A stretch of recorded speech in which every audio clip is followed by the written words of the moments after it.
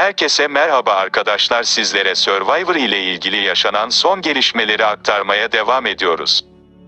Survivor Extra'dan kovulan Semih Öztürk'ün eşi yine rahat durmadı. Bu kez de Acun Survivor Extra adlı programdan eşinin yaptığı paylaşım nedeniyle kovulan Semih Öztürk'le ilgili bir gelişme daha yaşandı. Semih'in eşi Kurretülayn Matur'dan olay olacak bir paylaşım daha geldi.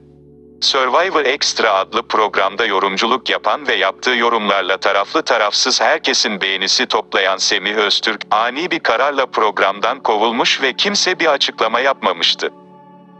Bu arada bu olayın Alpay Kazan'ın ölümüyle aynı ana denk gelmesi kafaları karıştırmış, işin aslı birkaç gün sonra ortaya çıkmıştı. Eşinin paylaşımı nedeniyle Semih Öztürk'ün görevine son verilmişti. Ancak Kurretülayn Matur yine yaptı yapacağını.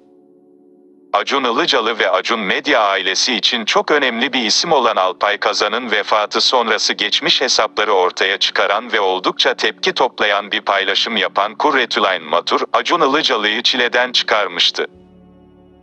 Aynı zamanda Semih Öztürk'ün de bir taziye mesajı yayımlamamış olması bardağı taşıran son damla oldu ve Acun Ilıcalı, Semih Öztürk'ün görevine son verdi.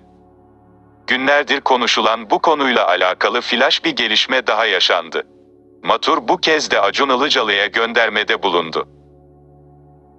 Yapmış olduğu paylaşım nedeniyle eşini oldukça zor bir durumda bırakan ve işinden olmasına neden olan Kurretülayn Matur anlaşılan o ki hiç akıllanmamış. Son yaptığı paylaşımla belki de eşinin yakında gerçekleşecek olan işine geri dönme ihtimalini de tamamen ortadan kaldırmış oldu. Çünkü Matur'un hedefinde bu kez Acun Ilıcalı vardı. İşte dikkat çeken o paylaşım. Kurretülayn Matur, Twitter hesabından Acun Ilıcalı'ya Bülent Ersoylu göndermede bulundu. Kurretülayn Matur'un paylaştığı videoda Cine 5 muhabirine öfkelenen Bülent Ersoy, kimin nesi bu? Kim bu? Nerenin çocuğu bu? Hangi kanal? Allah'ım yarabbim inanamıyorum. Bu kadar da önemli bir kanaldır ifadelerini kullanıyor. Sizler bu konu hakkında neler düşünüyorsunuz?